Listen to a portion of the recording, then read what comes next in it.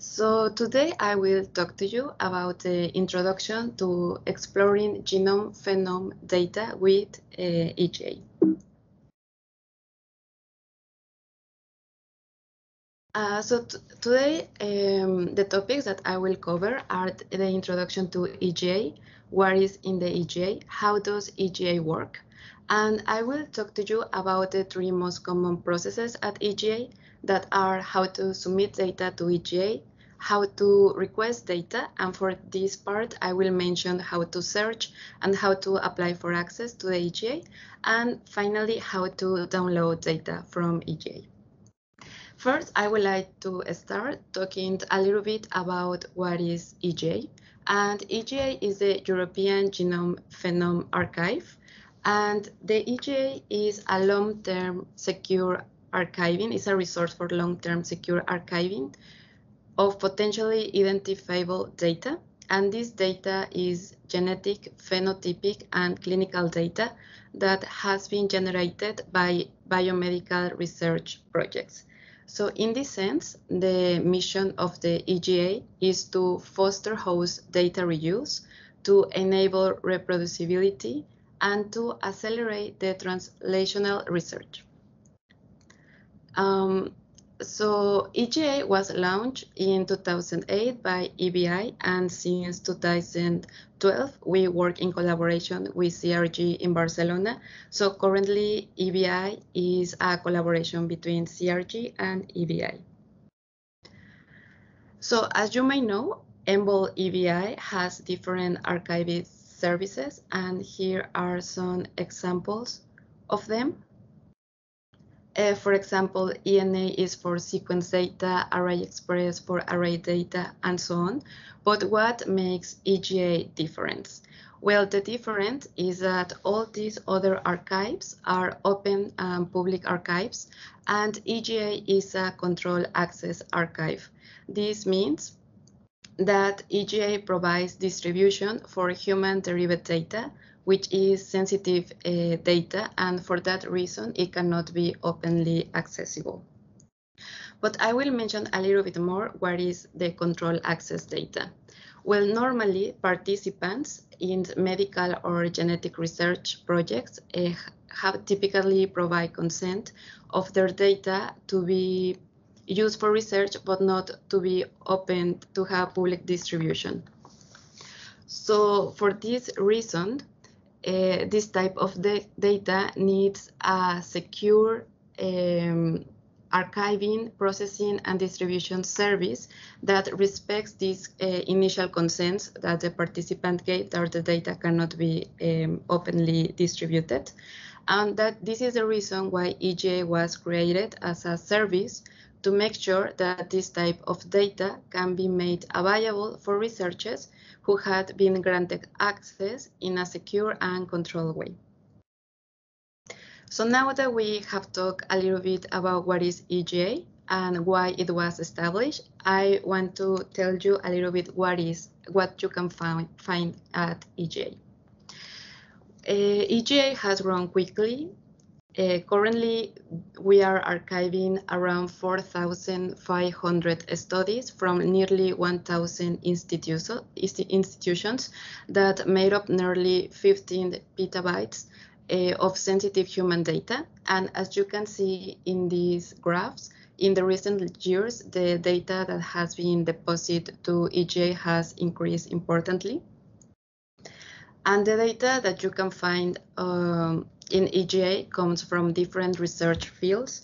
Mostly, uh, almost the 40% of the data comes from cancer research, but there is also data from rare diseases, infectious diseases, common and chronic diseases. And this type of data is genomic data, phenotypic data, and clinical data that has been generated by different technologies, such as whole genome sequencing, sequencing, uh, bulk and single cell RNA um, sequencing, and DNA methylation sensitive sequencing. And all this data comes from studies from all around the world. And in this graph, you can see the different submitters at EGA. So as you can see, most submitters are from United Kingdom, USA, Germany, China, Canada, France, Netherlands, Spain, Australia, Sweden, Japan, Finland, but EGA um, accepts uh, um, data from all over the world.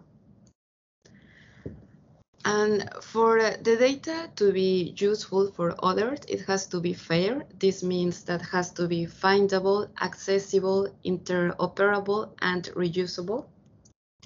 And to improve this fairness on human research data, EGA services include the data submission, discovery, and access to the global research community. So in general, there are three main processes at EGA, and this is how EGA works. And the first process is the submit the submission of the data, the submission process. So this happens when a research group has generated uh, human data and they want to submit the data to EGA. The next process is the request process, and this is when a researcher uh, finds the data on the EGA and they are interested in this data and they want to have access to download this data. And for this process, the researcher who is interested in the data, they have to contact the DAC, that is the Data Access Committee, and tell them that they are interested in the in the data, and then the DAC will evaluate their request and they will give um, granted access to the data. And finally, when the user has access granted, then they can download the data from the EGA, and this will be the download process. So now I will talk a little bit more about these uh, different processes. So the first process is the submission process uh, to submit data to the EGA. And EGA receives studies from different sizes and complexity which, which makes the submitting data uh, very a, a, very specific process for each type of submission. But I will describe very generally uh, this submission process. So first, the submitter has to complete the submission form, and this form can be found in the in the website. And then the submission form is sent to the help desk, and the help desk will start communication with the submitter and we will share the DPA, that is the data process agreement with the submitter. The submitter has to sign and to agree with this uh, data process agreement, and then they have to send back this document to the help desk, and we will um, set up a submitting account for the submitter, and we will share the login details so they can connect to the submitter portal, and they can start their process to submit data to the EGA. This data submit, submitting this data processing agreement are the conditions and the responsibilities of the data processing. So it will establish the relationship between the data controller, that is the DAC, and the data processor, that is the EGA.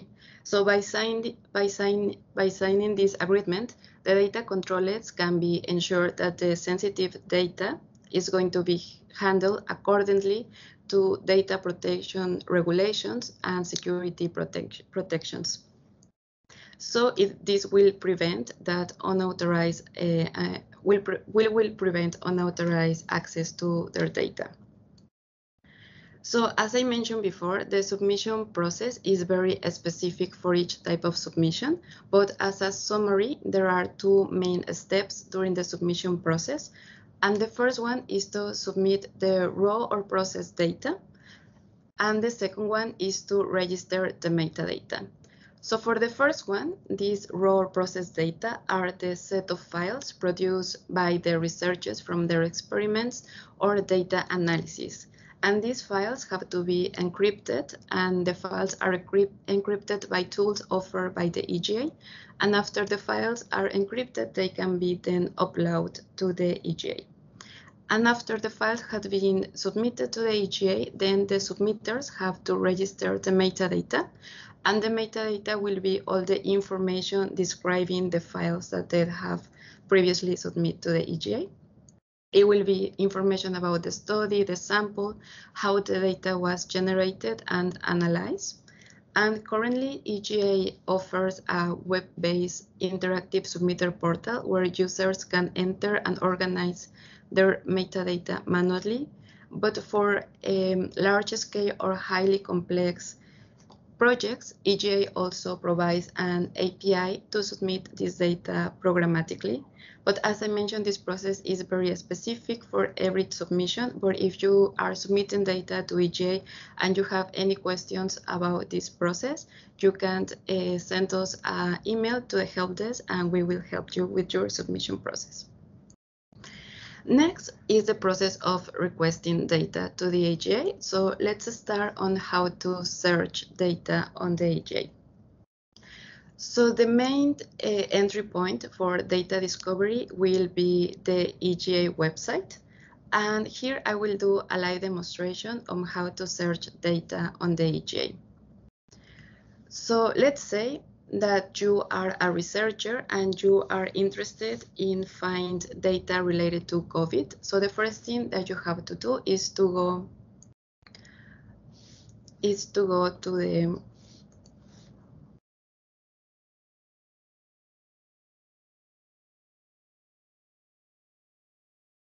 I'm trying to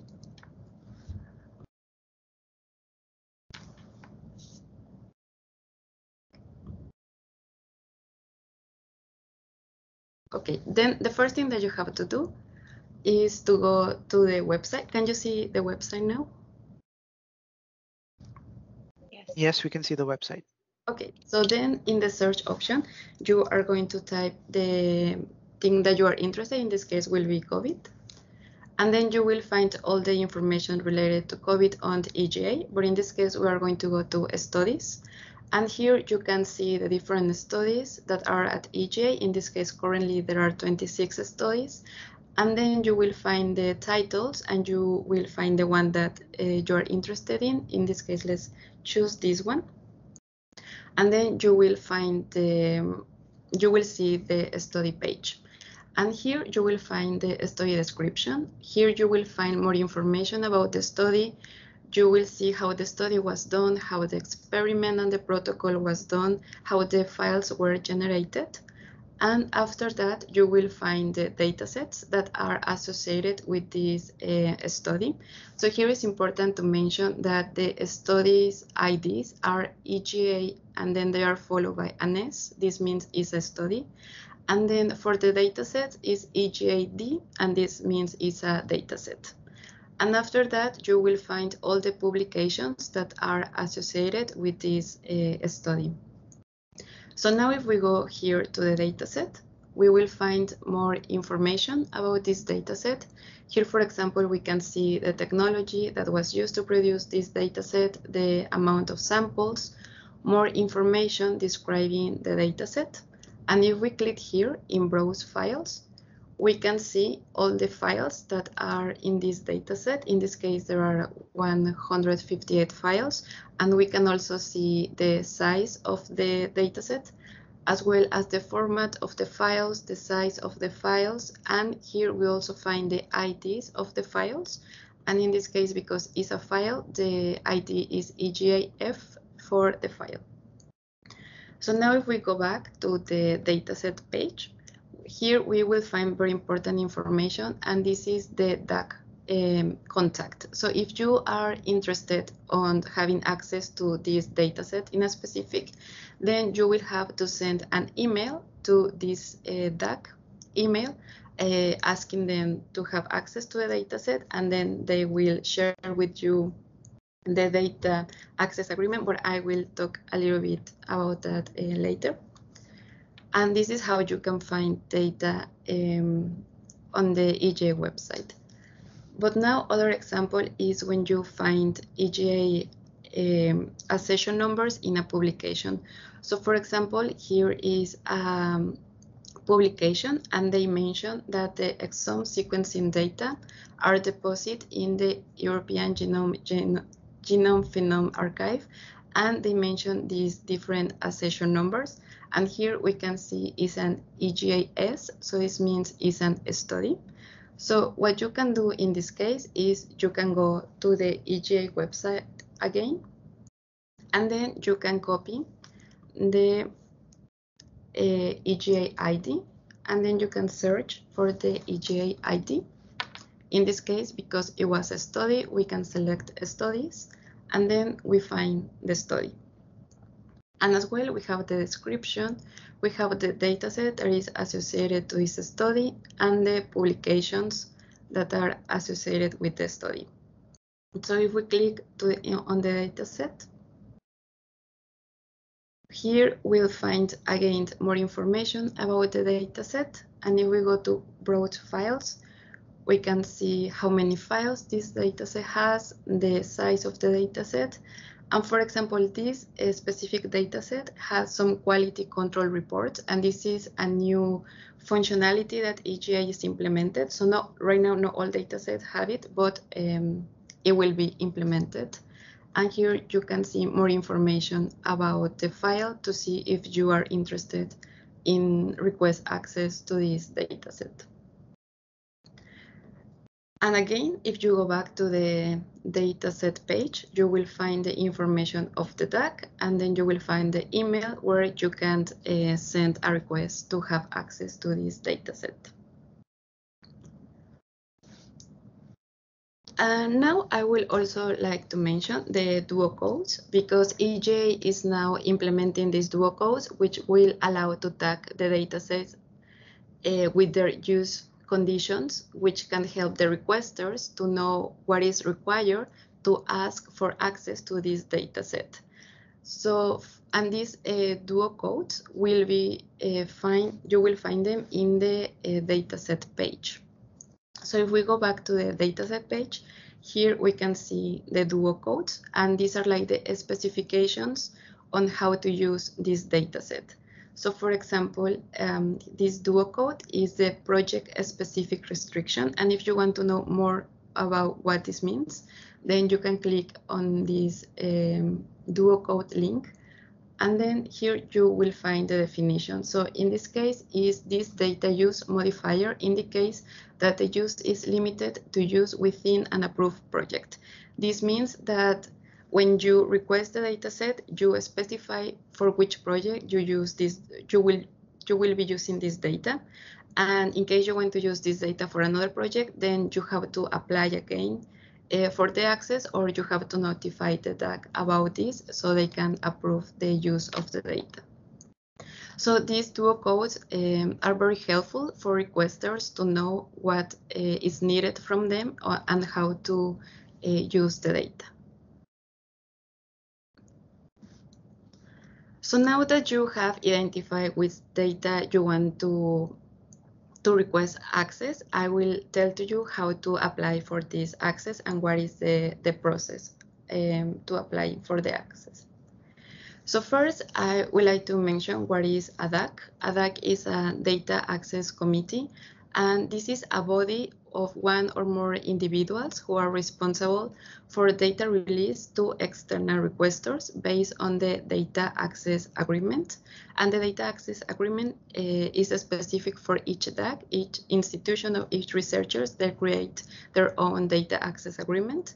And the DAC is typically formed, but not always necessarily, for the same organization that collected the data and they uh, generate the analysis so in this case, the requesting process to have access to a dataset that is archived in the EGA is that the requester needs to contact the DAC and request access. And then the DAC will share the data access agreement with them. And then after reviewing and approve the request, the DAC will notify the EGA help desk and we will create a download account for the requester. And as I mentioned before, the information um, to contact the DAC of the dataset that you are interested is on the dataset page. So after the DAC has informed us to open, uh, to create a download account for the requester, the requester ha will have access and then they can download the data from EGA. So now I will uh, talk to you about how to download the data from EGA. So after the EGA has created a download account for the requester, the requester will receive an email and the first thing they have to do is to set their EGA password. So when they receive the email, they will have a link where they can uh, set their password and then they have to wait about 24 hours for their account to be active.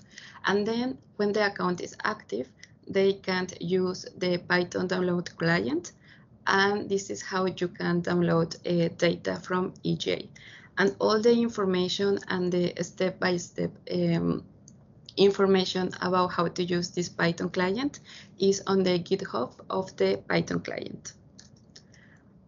And also for the metadata, the metadata will be available on the EGA website. So after your account is active, you can log in to the EGA website and then you can go to the dataset page and you will you will find this option where you can find the metadata and you can download the metadata from there.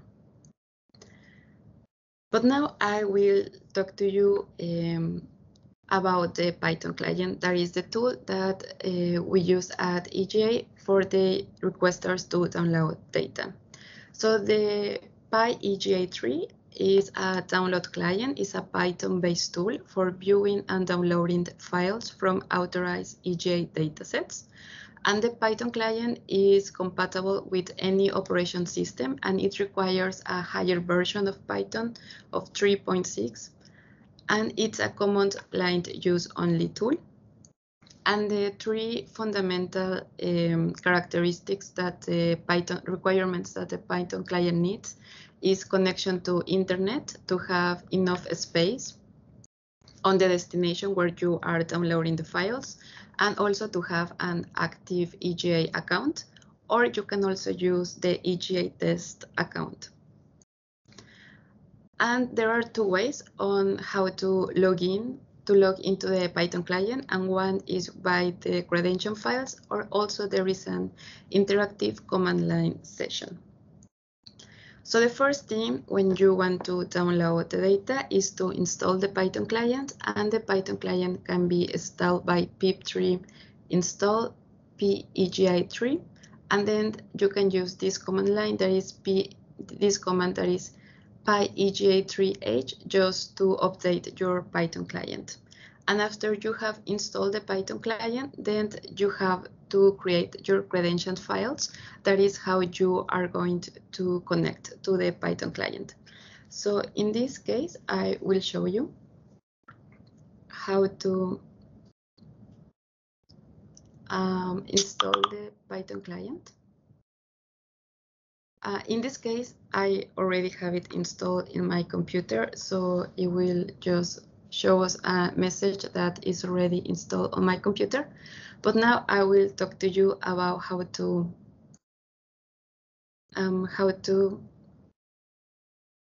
uh, create the credential files to connect to the Python client. So in the GitHub, you will find a template um, on how to input your credentials. So then you can go to your uh, terminal and you can use um, text editor to create the credentials file. And it's very important that the ext extension of the credential file is JSON because it's the way the Python client will recognize this file. And then we can uh, copy paste the template from the GitHub and here, the username, you have to change it for your um, email address that has the access and the password that you used. In this case, we are going to use the test account from EGA. And after this, we can save this document. And then we are going to have our credentials. And this is how uh, we are going to connect. But before that, I would like to mention a few things about the the Python client. First are the identifiers. As I mentioned before, when we are referring to a dataset, the ID will be EGAD, and when we are referring to a file, the, the ID will be EGAF. And here are some arguments that you can use with the Python client. For example, this dash CF is going to be to specify your credentialed files. Then the dataset argument is to list all the authorized datasets that you have for your uh, email. And then the option files will be used to list all the files that are associated with one specific dataset. Then the option fetch will download either a dataset or just a specific file. Also, the uh, this argument dash c. Connection and then the number of connections that we recommend is 20 connections and from there modify the number of connections until you get the maximum output. And this uh, option the dash c will um, help you to have a faster download and also a more stable download and finally this dash d is for debugging messages so this one is very uh, useful when you are having some errors with the Python client and you want to report it to the help desk, it's very useful for us to understand why you are having the error if you add this argument when you are doing your download. So now I will show you how to use um, the Python client. So as you saw, we uh, already have our credential files here in this folder. So the way to connect um, will be using PyEGA3. And then we are going to use the argument for the credential files. In this case is dash, dash CF and then the credentialed uh, file. And in this case, we are going to display the datasets that are uh, associated with our email in this case will be the EGA test account. So we run this and then we will see the data sets that are authorized for um, this user. So here is some important information. Um, here we are using the last version of the Python client that is 3.4.1 and this is very important because if you are not using the last version then you can have some problems during the download. Also, here we are using uh, this version of Python, and as I mentioned before, uh, the, this Python client requires a version uh, higher than 3.6. And as well, you can see the user that we are using, that in this case is the EGA um, test account. So now that we can see the datasets, we are going to see the files that are associated with this specific dataset. So in this case, we are going to do PyEGA3, and then we are going to use again our credential file, and then we are going to use the option files to display the files in this dataset. And here you will see all the data, all the files that are associated with that dataset. And the information that will be displayed is the file ID, the size of the file, the checksum. And this information is important because it will help you to, to do a cross check after the download if for the integrity of the file and also the name of the files. So you can find maybe a specific file that you are interested and just download this specific file. So just for this example, let's download this uh, file. So the way to download the file will be to do PyEGA3 uh, and then the credential files. And then we will use the argument fetch and the um, file ID and this will start the downloading of the file. So as you can see here, um, we are just downloading this file and here you will have some information about the available space that you have in your computer, which can be very helpful because sometimes the datasets can be uh, uh, two terabytes um, so it's important that you make sure you have enough space for your download.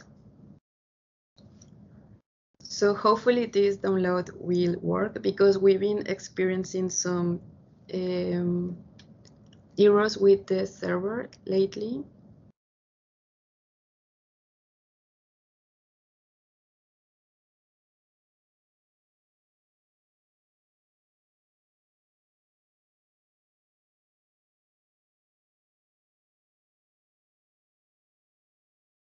And also, also other important aspect when you display the files with, with the Python client is that at the end, you can see the total size of the dataset.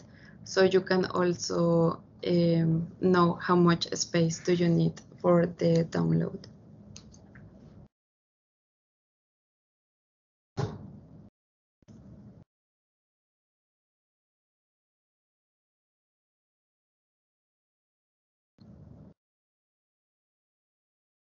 Well, in this case, it's taking some time to download, but I can show you how the output should look like. So this is how it will like after the download.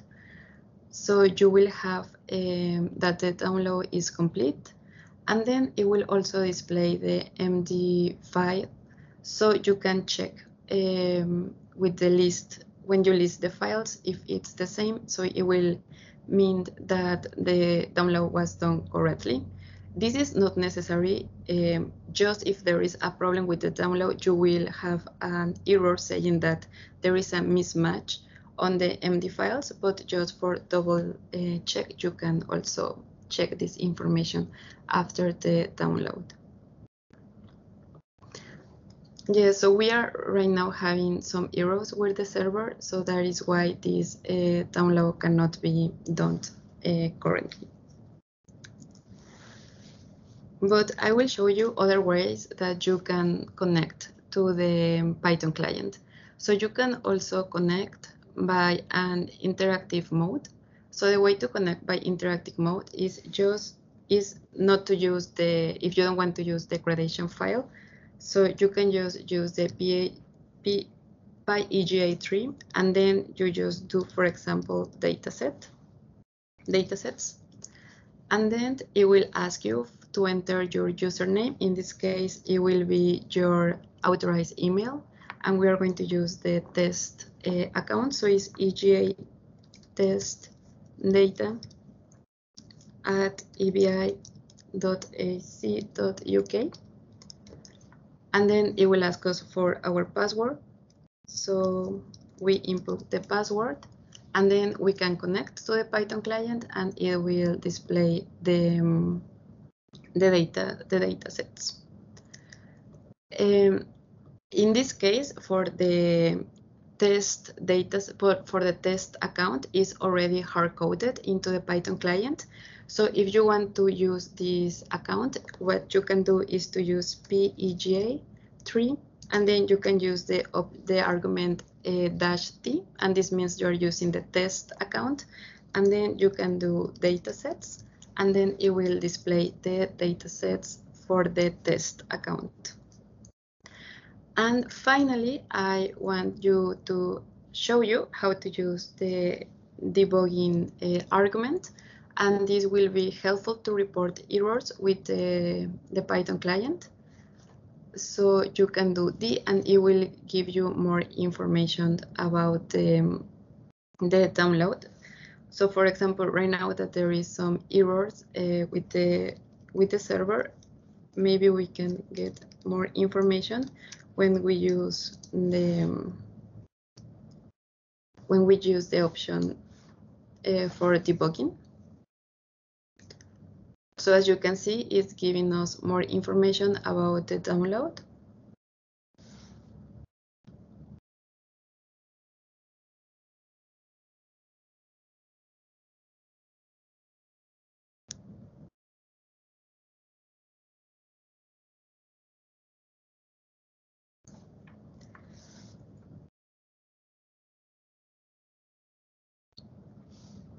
But if not, when you are reporting the errors to EGA, you can go to the folder where you are downloading the file, and this uh, file will be created, this um, PyEGA3 output log, and please um, share this file with us at EGA when you are uh, reporting an error, so it will be easier for us to identify the source of the error because if we display this file, you will see it will display like all the um, interaction that you've been having with the Python client.